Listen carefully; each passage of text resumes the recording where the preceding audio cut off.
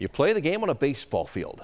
There's no need for bats or gloves. In fact, all you need is a ball. KRCG's Tony Mullen has our Good Sports Report tonight, brought to you by the Good Sports at the Not Not Agency.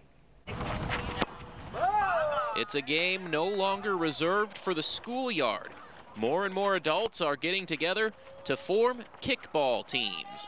It just seemed fun, something that everybody didn't have to know immediately, all the rules and regulations. It's easy, fun. For many adult kickballers, the sport brings back memories from several years ago. You can come here and feels like you're back in fifth grade. Going into the first game, you know, I brought back visions of being on the playground in sixth grade and just kicking the tar out of the ball. And then you get out here some, you know, 20 years later and the ball doesn't travel nearly as far, but it's still a lot of fun. Area kickball leagues offer plenty of good competition and maybe more importantly, a great time. This is definitely something we look forward to, uh, you know, week in and week out. You know, coming out here, enjoy the nice weather, get out, get a little exercise. Do you ever get really competitive when you get in between the lines?